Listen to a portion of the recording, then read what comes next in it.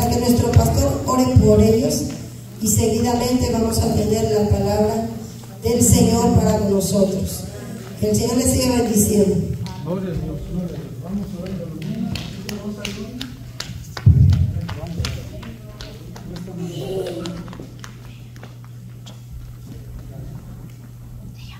Bueno, vamos a orar por las criaturas, por los niños.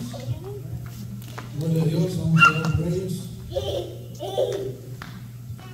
Bueno, Padre, en el nombre de Jesús, vamos a orar por nuestra hermana Edna, Señor, pidiéndole que le dé sabiduría, que le dé, Señor, palabra para estas criaturas, que usted, Señor, le dé la paciencia necesaria para poder educar a los niños y que sea su santa voluntad, Señor. Bendecimos a sus siervos, a sus pequeñas ovejas, Señor, les bendecimos, Señor, para que usted a su tiempo los llame a su santo servicio, defiéndalos de todo mal, glorioso Dios, ponga su mano poderosa en ellos, cuídelos, protéjalos, póngalos en el hueco de su mano, úselos para la gloria suya, levántalos a su tiempo suyo, Señor, bendígalos rica y abundantemente y derrame ricas bendiciones sobre cada uno de ellos. Se lo pedimos, Padre, en el nombre poderoso de su amado Cristo Jesús. Amén y amén. Vayan a su clase. Bueno, damos gracias al Señor. Vamos a entrar a la palabra. Damos gracias a Dios. Sean todos bienvenidos, mis hermanos. Si algunos no están presentes, llámenles, denles una llamadita. Ayúdenme ahí con eso. Porque es necesario que nos busquemos los unos a los otros. Tenemos que estar al pendiente de los hermanos. Porque ahorita en estos tiempos hay un enfriamiento espiritual muy grande, mis hermanos. Esperábamos que muchos de ustedes vinieran a la vigilia y por alguna razón no pudieron. Llegando, llegando, el Señor nos bendijo con una palabra profética muy, muy grande, muy de mucha bendición para la iglesia. Esperamos que para la próxima vigilia pueda estar presente. Vamos a ir al libro de Génesis, capítulo 28. Génesis 28, 15.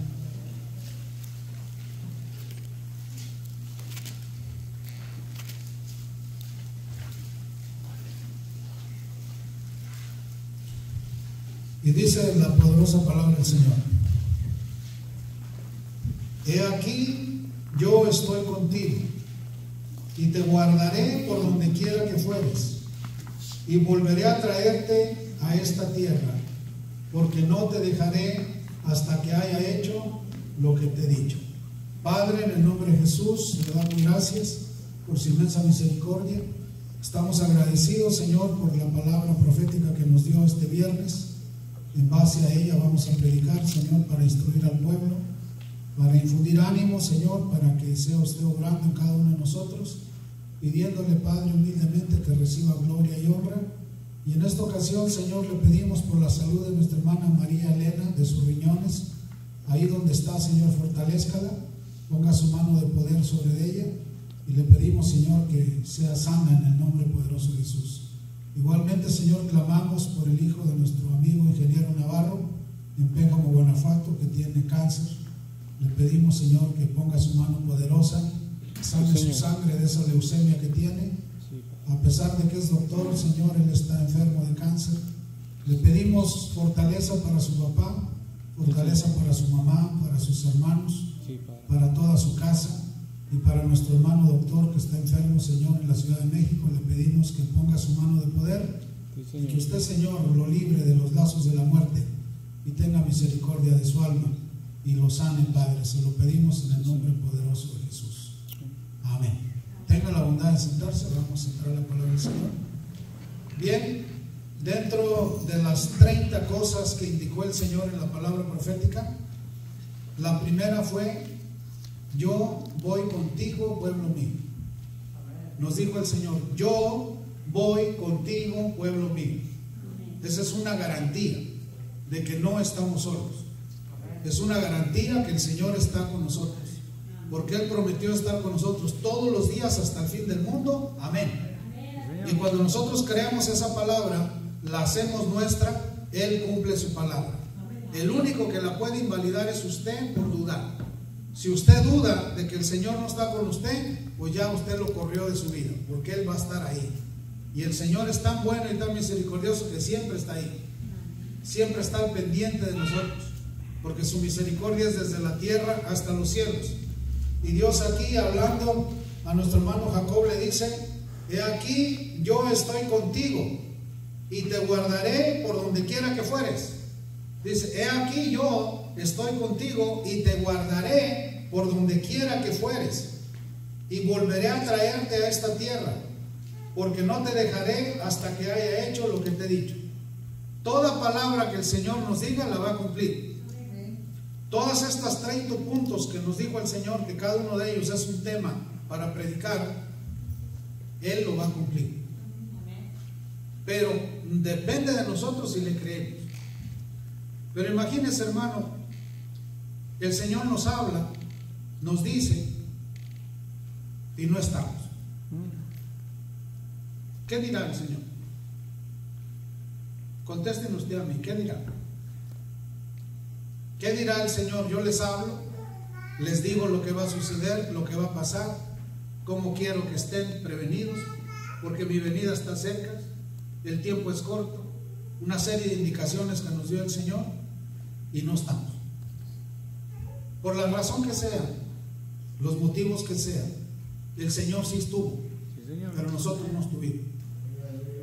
Me comenta nuestro hermano Elías que ese día él se sentía mal y estuvo a punto de no venir y él decidió venir y llegando empezó la palabra. En cuanto empezamos la vigilia empezó la palabra para los que sí estuvieron aquí. Y la primera palabra de las muchas que nos dijo el Señor, yo voy contigo, pueblo mío. O sea que el Señor va con nosotros a donde quiera que vayamos. Vamos al trabajo, va el Señor con nosotros. Vamos a la casa, va el Señor con nosotros. Vamos manejando el vehículo, va el Señor con nosotros. Vamos a la Walmart, va el Señor a la Walmart con nosotros. A donde vamos, va con nosotros. Y muchas veces ni cuenta nos damos ni lo valoramos. Muchas veces incluso hasta vamos hablando mal o peleando con la pareja o peleando con los hijos o discutiendo entre nosotros y el Señor ahí va oyendo todo lo que vamos diciendo. Porque Él prometió que Él irá con nosotros. Yo voy contigo, pueblo mío, porque somos pueblo y ovejas de su prado. Somos comprados a precio de sangre. Que Dios bendiga a nuestro hermano nuevecito que está aquí.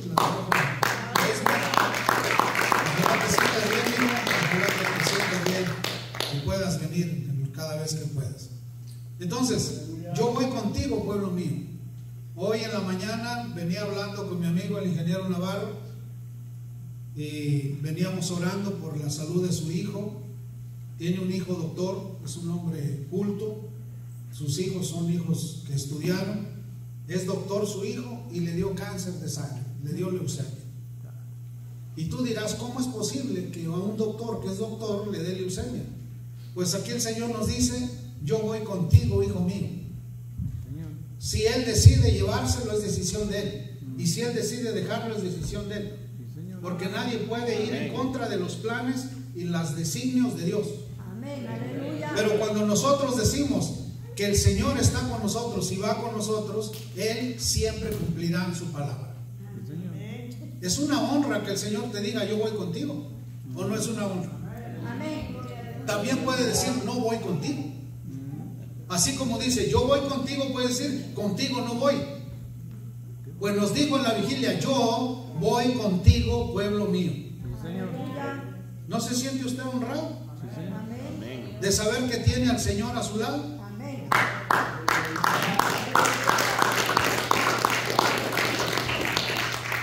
Vamos al libro de Josué.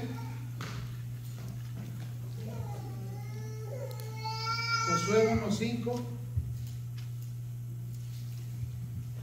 Le dijo el Señor a Josué, nadie te podrá hacer frente en todos los días de tu vida.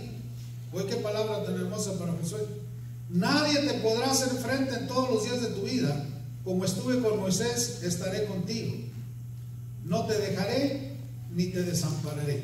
Y dos condiciones. Esfuérzate y sé valiente. ¿Qué tenemos que hacer nosotros? Esforzarnos. Esforzarnos. Porque el enemigo no va a querer que le sirvamos al Señor. ¿O sí va a querer? Él no va a querer. Pero ¿cuál es el trabajo que nosotros sí tenemos que poner? Esforzarnos. Yo vengo de verlo. Ustedes viven aquí. Yo vengo de Belmo. Mi hermano José, mi hermana Irma y sus niñas y sus niños vienen de Belmo. De todos los que estamos aquí, los que venimos más lejos somos nosotros. De Belmo. Ahora imagínense que usted tuviera que ir de Western al servicio a Belmo El primer. y a Clear Lake a una hora 15 minutos. Yo terminando aquí voy para Clear Lake. A veces voy que voy en contra del tiempo, ni chance de una hamburguesa ni nada. Llegando y a lo que vamos. Ahora que tuviéramos que ir al servicio a Clear Lake, si estamos 11 aquí en Western, no venimos ahora a ir hasta Clear Lake. Mire, yo he tenido información de hermanos guatemaltecos que caminan 5, 6, hasta 7, 8 horas para ir a un servicio, a pie. A pie. Eso es admirable. Eso es amor.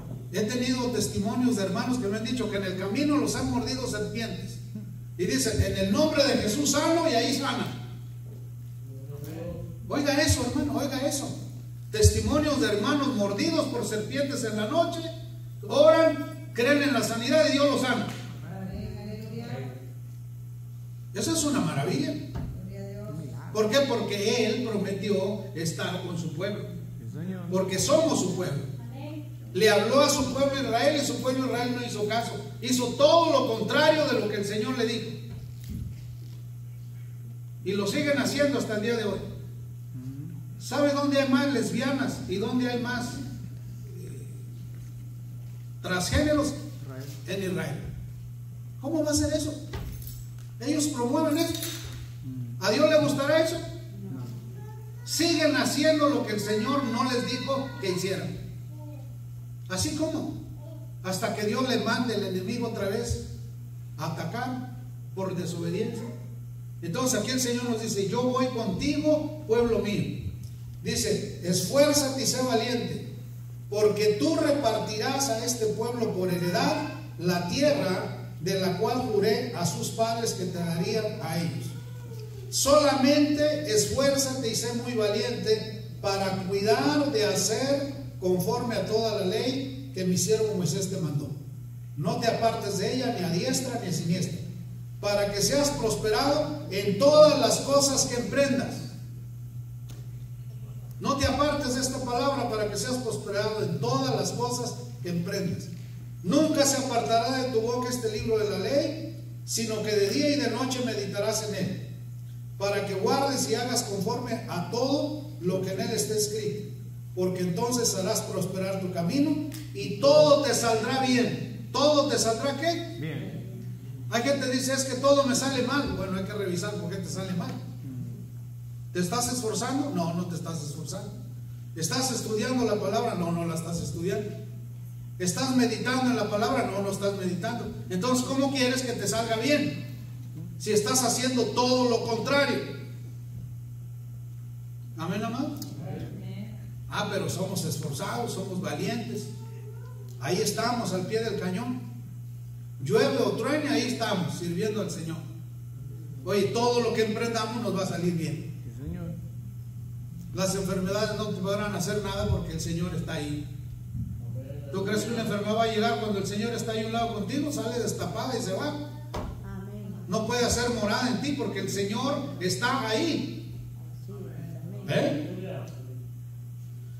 Fíjense lo que dice el Salmo 94, 14.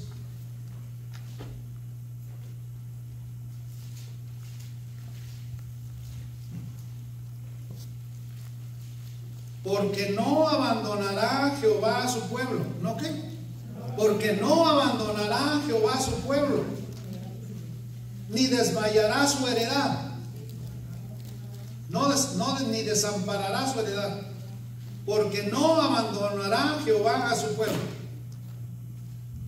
Él prometió estar con nosotros y Él lo reafirma que estará con nosotros todos los días hasta el fin del mundo. Amén. Y no desamparará su heredad.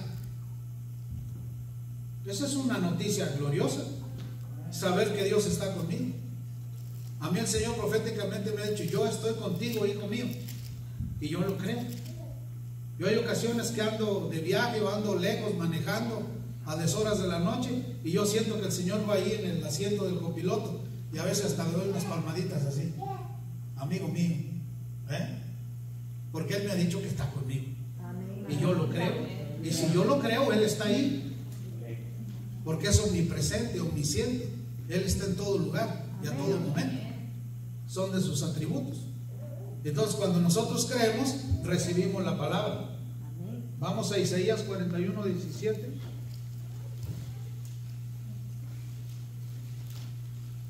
Para los que tienen la buena costumbre de anotar, es una virtud tener la costumbre de anotar. Les manda muchos saludos el pastor Domingo Rincón Hernández de Aguascalientes. Acabo de hablar con él. Los afligidos y menesterosos buscan las aguas y no las hay. Seca está de ser su lengua. Yo Jehová los oiré. Yo, el Dios de Israel, no los desampararé. Aquí dice, a todos los sedientos que tienen sed y tienen seca su boca de ganas de agua, yo Jehová los oiré y no los desampararé. En otras palabras les dice, les voy a dar agua. ¿No es una bendición? Mire, yo sé lo que es tener sed. Yo he durado tres días, y sus, no, cuatro días y sus noches sin comer y sin tomar agua. He visto cómo se ven rajados los labios y la lengua. Y cuando uno toma esa agua es una delicia, es una delicia. Es una hermosura tomar agua. La vida. Usted sea precavido, si usted toma agua de botellita, póngale unos granitos de sal. Porque es agua le van a dañar los riñones. Está diseñada para dañar los riñones porque no tiene ningún mineral, se los quitaron todos. Los 40 minerales que debería tener no los tiene. Usted póngale los minerales con unos granitos de sal, agarre sus tres dedos, póngaselos, bata su botella y tómesela y la pasa de agua muerta a agua viva. Porque si no al rato adiós riñones. Y aparte, si se toma su Red Bull o se toma sus monstruos, adiós riñones. Al rato va a estar sin riñones. Y le va a echar la culpa a Dios, Dios no está conmigo. Sí está contigo, pero el necio eres tú, que no te cuidas. Y no cuidas tus riñones. Cuídelos. Yo veo unos que llegan a la Cases y salen con un de ese monstruo de dos pisos así. Óigame, no, sin riñones se va a quedar. Y al rato le va a echar la culpa a Dios. ¿Quién tiene la culpa? Usted, porque no se cuida. Pues sale con una coca de dos litros y en cada comida manga la coca de dos litros. Adiós riñones. Y el azúcar a todo lo que da. ¿Quién tuvo la culpa? Usted. Amén, mis amados. Amén, aleluya. Sean cuidadosos y sean cautelosos. ¿Ah? Bueno, no me voy a meter mucho en eso, pero ganas tengo de un día predicarles una prédica sobre puras cosas de esas. A ver cuándo me la preparo. Hebreos 13:5, vamos a Hebreos 13:5. Hebreos 13:5.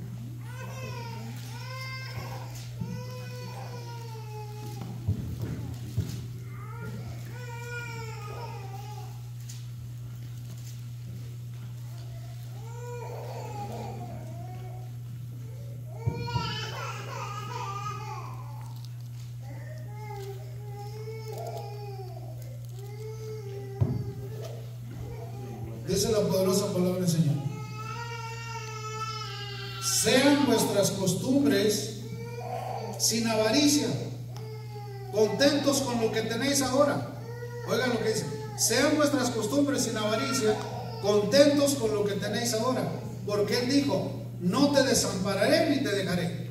¿Y qué hace la gente? Deja al Señor, abandona al Señor por su avaricia. No, de veras, hermano. La gente prefiere dejar al Señor por el trabajo. ¿Cómo se le llama eso? Avaricia. Y el Señor dice, ponte contento con lo que tienes, porque no te dejaré ni te desampararé. Y la gente dice, pues yo te desamparo porque quiero más.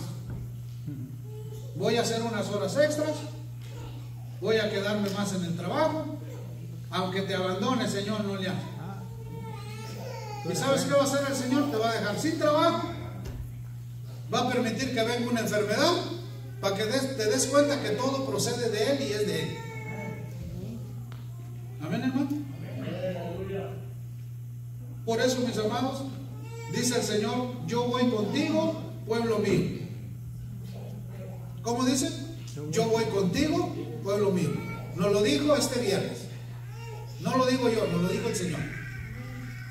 ¿Cuántos son testigos de que nos dijo eso? Así nos lo dijo. Y luego dice el número 6 de Hebreos 13:6. De manera que podemos decir confiadamente, el Señor es mi ayudador, no temeré lo que me pueda hacer el hombre. Cuando nosotros decimos, el Señor es mi ayudador, no temeré, Él te va a ayudar. Él te va a ayudar. ¿Cómo? ¿Quién sabe? No sabemos cómo, pero Él te va a ayudar. Amén, hermano. Por eso nosotros tenemos que confesar que el Señor está con nosotros y que no nos va a dejar ni nos va a desamparar. Amén, mis hermanos. Mire, me acaba de hablar nuestro hermano Albertico de Cuba. No tiene casa. La casa que rentaba se la pidieron. Le dieron tres días para dejar esa casa. Y a la calle iba a dar porque no, no consiguió casa ni dónde vivir. Dijo, no será posible que ustedes tengan misericordia de mí, de mis hijos y de mi esposa y me ayuden a conseguir una casa. Dije, pues búscala. Búscala tú. Dice, pues encontré una de 1500 dólares. Dije, no, busca una más barata. Búscate una más baratita, que si hay. Si buscas, vas a encontrar. Me acaba de hablar y me dice, acabo de encontrar una en 500 dólares. Dije, ve y cómprala y te vamos a mandar para que la compres y ya no te quedes en la calle. Ve, compra la casa. Dios le proveyó. Sí. ¿Sí le proveyó o no le proveyó? Sí. Sí le proveyó. Pero si él duda, ¿le proveerá el Señor? Lo deja en la calle para que crea. Y cuando se esté mojando con sus hijos y su esposa en la calle, abajo de un árbol, a lo mejor ahí le clama a Dios. ¿Usted tiene casa o está en la calle? ¿Tiene casa? ¿Acaso Dios lo ha desamparado? No, no lo ha desamparado. ¿Usted tiene dónde vivir? Hay millones y millones de gentes que no tienen dónde vivir. Que no tienen ni qué comer. ¿Usted tiene que comer? Amén. Dios no lo ha desamparado, le ha dado de comer. Hay millones de gentes que se acuestan sin comer. ¿Eh? Y usted dirá, no puede ser. Sí, nosotros lo hemos visto. Elías y yo que hemos ido a Venezuela, que hemos ido a Cuba, hay gente que no tiene que comer. Y desean que comer. Miren, me acaban de hablar de Cuba. Una mujer tuvo que entregarle su niña a su esposo y se iba a quitar la vida. Fue nuestra hermana Rosario, oró por ella y ahí está la mujer viva. Le dije, no la dejes ni la desampares. Atiende a esa pobre mujer, está al pendiente de ella y avísame qué necesita para estar al pendiente de ella, porque si no, sí se va a quitar la vida. Pero si la dejamos y la olvidamos, conservará su vida, se quita la vida. Entonces, Dios a veces nos pone situaciones muy pesadas para probarnos a ver si tenemos misericordia del que tiene el problema, así como Dios ha tenido misericordia de nosotros. Sí, Señor. Amén. Pero como nosotros no tenemos ninguna necesidad, nos olvidamos del que tiene la necesidad. Pues hay que resuelva él, hay que resuelva ella. No, no, tú también tienes que ayudarle a resolver el problema. Sí, Señor. Porque ahorita es Él con la necesidad que tal que seamos nosotros. Por eso el Señor nos dice, yo voy contigo, pueblo mío. Amén. Solo esfuérzate y sé valiente. ¿Qué tenemos que hacer nosotros? Esforzarnos y ser valientes. Esforzarnos y ser valientes. Vamos al libro de Deuteronomio, capítulo 31.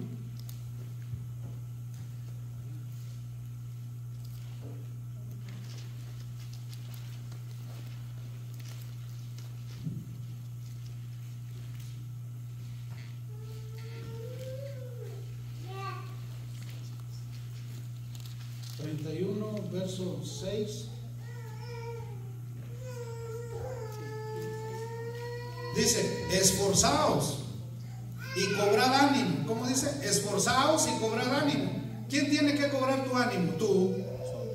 Pero si tú no cobras tu ánimo cada día, nadie lo va a poder cobrar, solo tú. Tú tienes que venir, Señor, vengo a cobrar mi ánimo de hoy. Hoy todo el día voy a estar con buen ánimo. Recibir mi dosis de ánimo hoy. Hay gentes que no se acuerdan de cobrar su ánimo. Andan todos desanimados todo el día, todo el mes, todo el año. Porque en un año entero nunca cobraron su ánimo. Usted tiene que venir delante del Señor y decirle, Señor, vengo por mi ánimo de hoy. Porque nomás me sirve para hoy, ya para mañana no sirve. No te vayas a asustar, hermano nuevo, así predicamos aquí. ¿Eh? No vayas a salir todo asustado, que no Tenemos que cobrar nuestro ánimo, Señor, vengo por mi ánimo de hoy, para los problemas de hoy. Porque el de mañana todavía no nos lo dan, nos lo dan como el maná hasta mañana. Hay que venir el mañana, Señor, ahora vengo por mi ánimo de hoy. Hay gente que anda toda desanimada, toda corajuda, toda malhumorada. ¿Sabe por qué? Porque no fueron a cobrar su ánimo. Y ahí se quedó su ánimo. Ningún provecho le van a sacar ese ánimo. Ahí se va a quedar ese ánimo. Hay gentes que hasta la vida se quitan. ¿Eh? ¿Por qué? Porque no tienen ánimo. Y aquí nos dice la palabra, le dice el Señor, le dice el Señor a su pueblo, esforzaos y cobrad ánimo. No temáis. ¿No qué? No temáis. Ni tengáis miedo de ellos. Porque Jehová tu Dios es el que va contigo. No te dejará ni te desamparará. Porque vinieron los espías, de 12 que fueron, 10 vinieron y dijeron, no, hay unos gigantes enormes. Nos van a tragar como langostas. Somos como nada delante de ellos. Y desanimaron a dos millones y medio de personas. Diez desanimaron a dos millones y medio. Diez. Desanimaron a una, a una nación entera.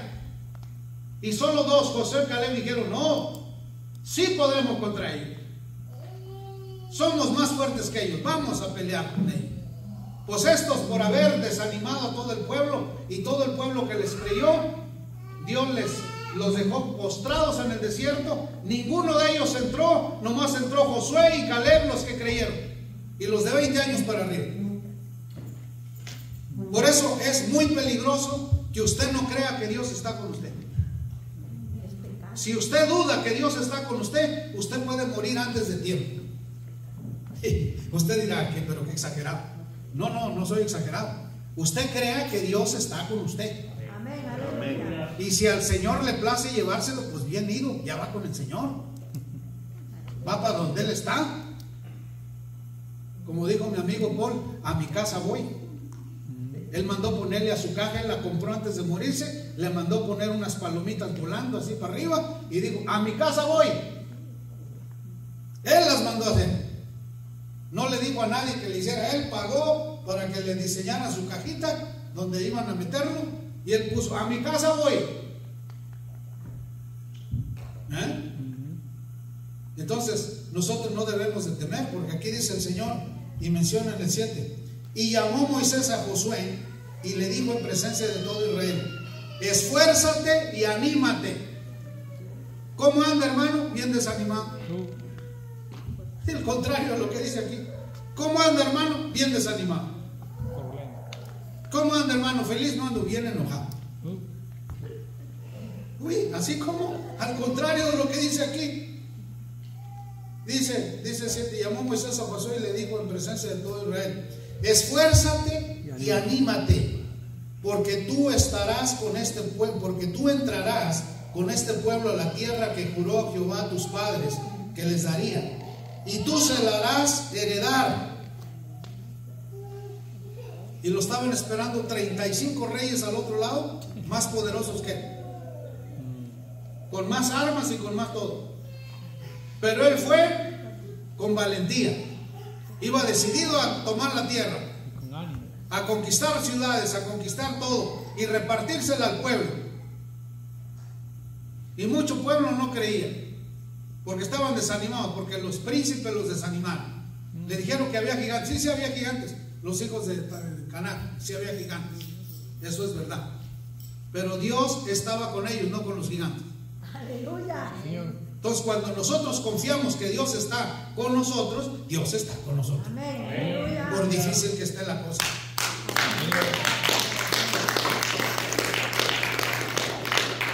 Y dice el 8, y Jehová va delante de ti. Le dijo Dios a José, Jehová va delante de ti. Él estará contigo. No te dejará ni te desamparará. No temas ni te intimides. Le dijo, Jehová va, va delante de ti. No te dejará ni te desamparará. Mira qué palabra tan poderosa. Jehová va delante de mí. No me dejará ni me desamparará. Voy. Pero si Dios dice, no vayas, ¿qué tienes que hacer? Pues no ir. Hay ocasiones que Dios te prohíbe, no vayas. Y uno que sí voy. Mira, no te cases con ese, que sí me caso. No te cases con esa, que sí me caso con esa. Pues te va como en feria. Porque el Señor te dijo no y tú hiciste sí. ¿Eh? ¿Cómo le fue a María cuando habló de su hermano Moisés? Y Aarón. Hablaron escondidas. Oh, mi hermano Moisés se casó con una cosita, con una negrita. Lepra le cayó por andar hablando. Lepra le cayó. Una sola mujer detuvo dos millones y medio de almas siete días en el desierto por culpa de ella. Y la expulsaron, le echaron fuera a que estuviera allá apartada, lejos, para que no les pegara la lepra. Allá. Y por el que habían criticado, tuvo que orarle a Dios para que la sanara. Entonces, el que te critica a ti, te va a tocar a ti orar para que Dios lo gane. Mejor no andes criticando a nadie. ¿Ah? Porque te puede caer lepra.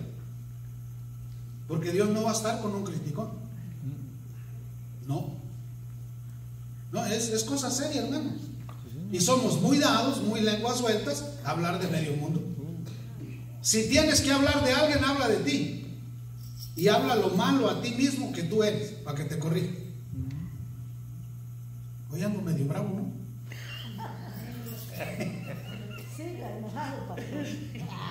Por eso, por eso, miren mis amados, yo creo que ya son los años que ya se está haciendo uno viejo y ya cuando uno está viejo, pues ya no pienso igual. No, de veras, hermano. Ahí me dice mi esposa, oye, pero a ti te gusta mucho la carne. Le digo, bueno, pues ahorita que tengo muelas, al rato no voy a tener y con qué me la voy a comer. Ahorita que me quedan dos, tres muelas todavía, pues, puros me las sacaron. Ahorita hay que comer, ahorita que se puede, y al rato no vamos a poder. Entonces, si Dios habló y nos dijo en la vigilia, yo voy contigo, pueblo mío, yo creo que Él está con nosotros y va con nosotros a donde quiera que vayamos. Solo es creer y solo es rendirnos a la voluntad del Señor. Mire, hoy en la mañana que estoy hablando con mi amigo el ingeniero Navarro, José Navarro, me dijo, hermano Miguel Ángel, de mis amigos que yo creía que iban a estar conmigo en esta situación tan difícil de mi hijo con cáncer, ninguno me ha llamado. Más bien me llama usted que está de tan lejos que mis propios amigos que están aquí. No se imagina cuán agradecido le estoy porque ora por mi hijo. Dije, oremos, ahorita oremos usted y yo por su hijo. Y que sea la voluntad del Señor. Si le da vida, que le dé vida. Y si le lo lleva, que se lo lleve. Y usted sométase a la voluntad de Dios, no reniegue. Dijo, amén. Oiga, un hijo con cáncer no es cualquier cosa. Y si Dios le hace el gran milagro de regresarle a su hijo sano y salvo, ¿cree usted que ese hombre no va a estar agradecido? Agradecidísimo. Y nosotros recibimos milagro tras milagro, bendición tras bendición. Nomás nos tiene viviendo en la mejor tierra de los Estados Unidos. Ah, Vivimos en la mejor tierra de todo Estados Unidos. Y ni siquiera nos damos cuenta. Ahí va a caer nieve otra vez. Gracias a esa nieve es la mejor tierra. Ay, ese polvo de ese maíz que me da alergia. Ay, ese polvo de la soya. Ay, ese olor a los puercos. Aquí huele a puerco. Dale gracias a Dios. Somos el estado con número uno de producción de carne de puerco a nivel de Estados Unidos. Exportamos a China, exportamos a Japón, exportamos a Italia, exportamos a todas partes del mundo carne de puerco. Amén. Qué bueno que huele a carne de puerco y, y huele a caca de puerco, huele a dinero. Ay, qué pestilencia huele a caca de gallina, huele a dinero. Iowa huele a dinero. Iowa es un estado riquísimo. Y Dios nos tiene viviendo en un estado riquísimo. Y no somos ni siquiera para comprar un acre en la mejor tierra de Estados Unidos. Porque está muy caro, vale 9 mil dólares. Mejor compro una camioneta de 40, 50 mil dólares, 5, 6 acres.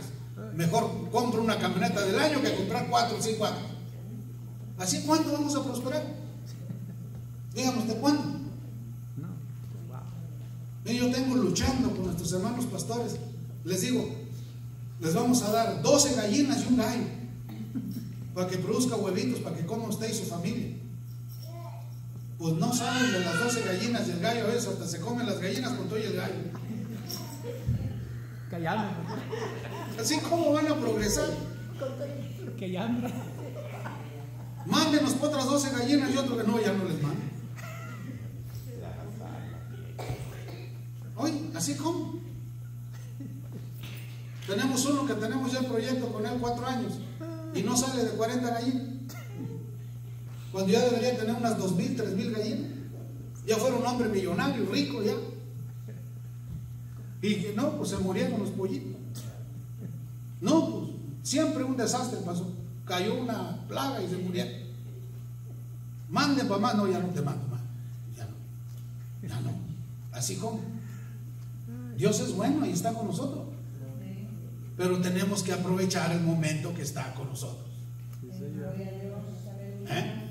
Mire como nuestros hermanos de Guatemala, que Dios los tiene aquí ganando dólares y más dólares y más requete dólares. Ya tienen los bancos llenos allá de dólares. No, es una bendición. ¿O no es una bendición? ¿Sabe cuánto gana un trabajador en Cuba? ¿Sabe cuánto gana un trabajador? Y pagándole el doble de lo que gana, ¿sabe cuánto gana? Un dólar al día. Tenemos un trabajador que trabaja con nosotros allá, cuidándonos unas tierras, gana un dólar al día. Y está feliz con su dólar al día, porque no hay quien se lo pague aparte de nosotros. Le pagan 50 centavos cuando bien le va. Y nosotros le pagamos el doble, le pagamos un dólar al día, cada día. Él está feliz ahí con nosotros.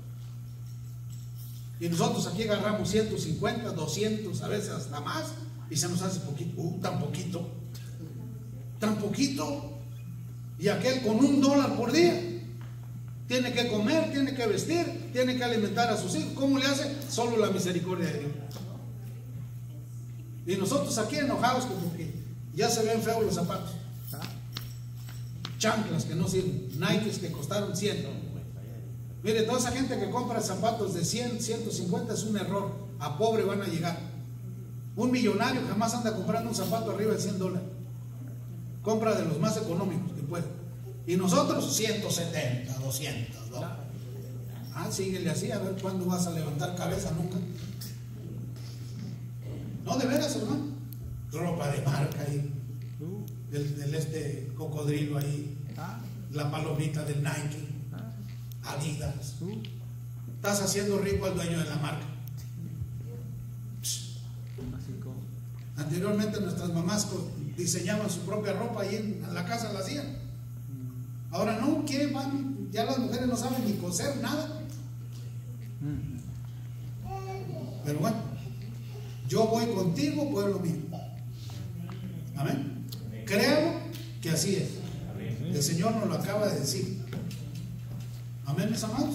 Amén. Los niños no tendrán ninguna participación, no saben, hermano, por favor. Dios ha sido tan bueno, mis hermanos. Yo he sido tan feliz aquí en este estado de Iowa. Tan bello lugar. Es una tierra bendecida. A veces voy hablando con hermanos y les pongo y digo, mira qué bonitos files. Ay, qué belleza, qué hermosura. Qué bonitos ranchitos. Mira nomás qué bonito. Con ganas de ir a conocer. Y los hermanos que viven aquí, qué enfado. Solo, aquí no hay ni gente en estos ranchos. Renegando. Oye, oye, misericordia. Con riesgo de que Dios te agarre y te regrese otra vez allá a tu rancho. Por malagradecido. Es que tenemos que ser agradecidos, hermano. Amén, mis hermanos. Amén. Pero pues no lo somos. Bueno, mientras vienen los niños, nuestra hermana Colombia va a orar por nosotros. Para despedirnos.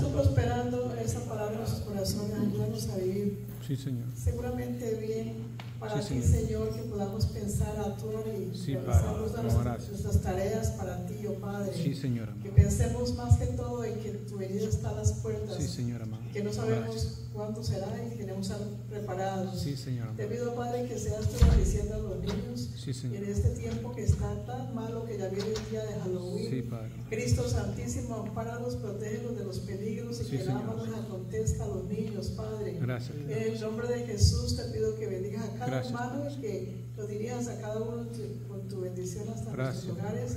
Envía ángeles a los hermanos que van tan lejos y guárdalos Sí, del mal. En el nombre de Cristo Jesús. Amén. Amén. Gracias, hermano. No tienen